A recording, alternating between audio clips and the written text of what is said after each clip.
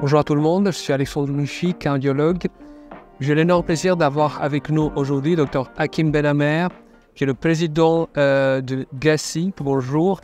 Bonjour Alexandre. On se retrouve donc à la PAC et donc vous avez modéré et présidé une session très intéressante, session GACI, sur le spasme coronaire. Pourriez-vous faire un petit résumé de cette euh, session et puis on va rentrer dans les détails? Tout d'abord, effectivement, c'était une session qui était euh, passionnante, euh, dédiée au spasme, d'ailleurs avec un titre plutôt marrant, puisqu'on appelait ça les spasmophiles. donc une session qui est au sein d'un congrès qui est extrêmement agréable, où les échanges sont souvent fructueux et, très friendly.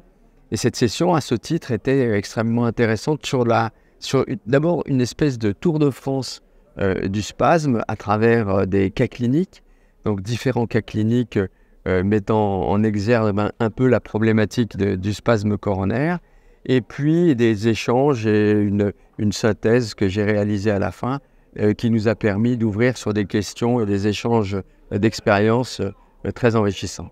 Parfait. Est-ce qu'on peut nous dire à qui on cherche ce spasme, le spasme coronaire? Chez qui?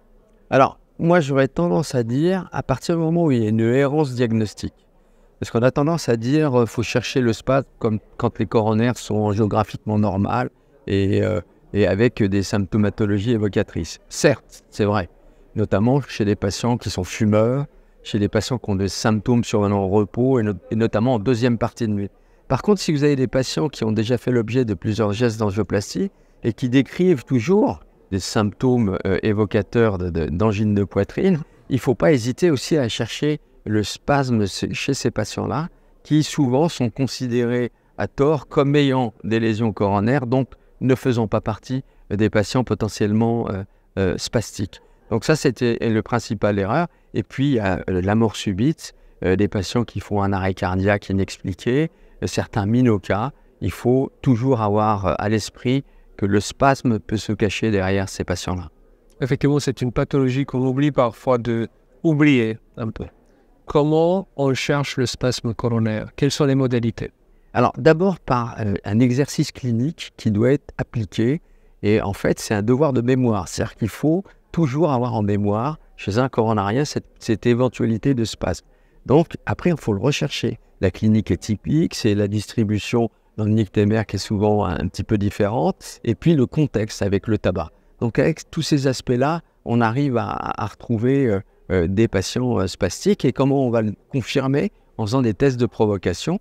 Ces tests de provocation ont pratiquement été abandonnés durant les dernières années du fait d'une positivité extrêmement faible. Effectivement, faire un, test au métergin et avoir 3% de positivité, ça érode un peu l'enthousiasme. Or, euh, nous, on a fait quelques travaux là-dessus. Le fait de le faire en intracoronaire, on on multiplie par 4 la positivité. Euh, donc, ça nous euh, conforte dans l'idée qu'il faille le faire. Et puis, avec un, risque d'événement lors du test qui est nul. C'est-à-dire que nous, on n'a eu aucun problème avec, avec les tests réalisés en intracoronaire, qui sont des modalités un petit peu différentes.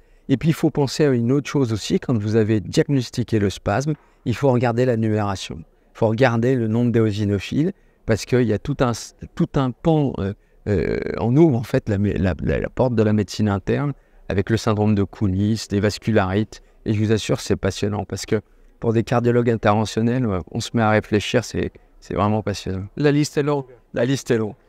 Alors, en salle de coronarographie, quels sont les critères, de, les critères positifs pour un spasme coronaire? Ça peut sembler bête, mais... Non, non, c'était une très bonne remarque. Et quel test? Donc, euh, j'ai retenu le test euh, en métergent. Le test à l'acétylcholine, il est, il est débattu parce que euh, probablement il y a un, problème au niveau des dosages et il n'y a pas un consensus. donc, quel médicament, peut-être quel protocole vous utilisez vous et quel est le, euh, diagnostic euh? Brièvement, sans rentrer dans les mécanismes physiopathologiques, il y a deux éléments qui influencent la survenue de spasmes.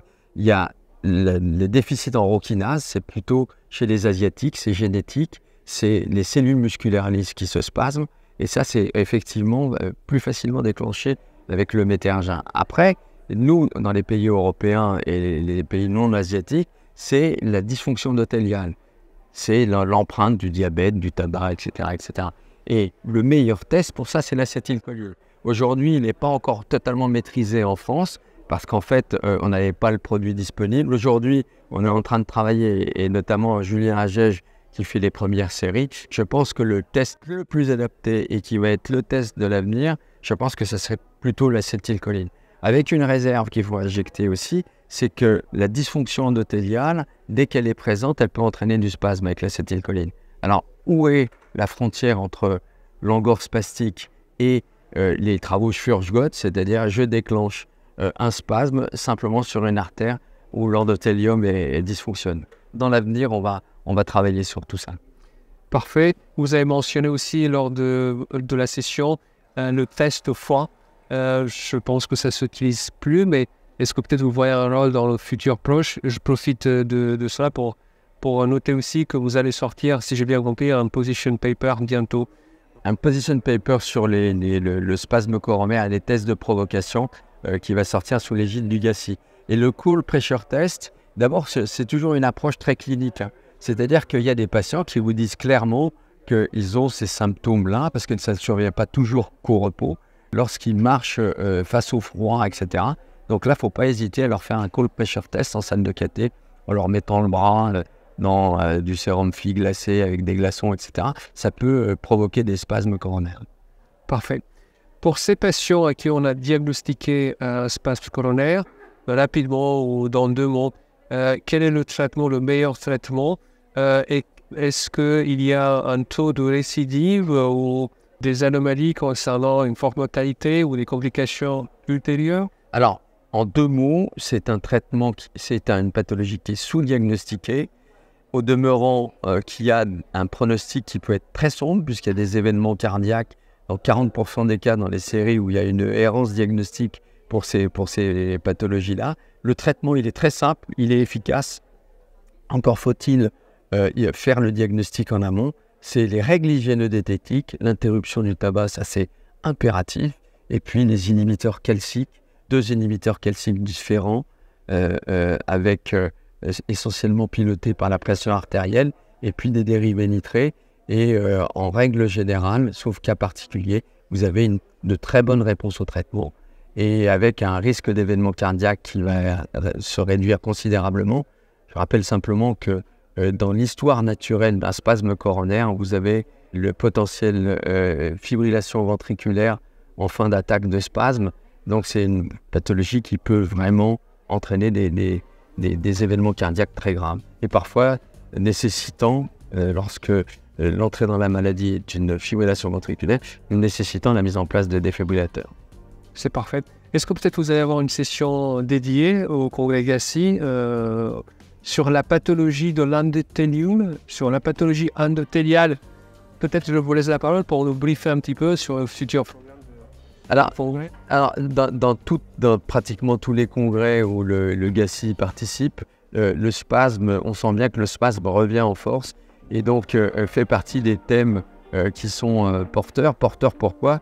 Parce que nécessite une prise en charge diagnostique plus importante, plus adaptée, avec des traitements qui sauvent des vies. D'accord. On vous remercie.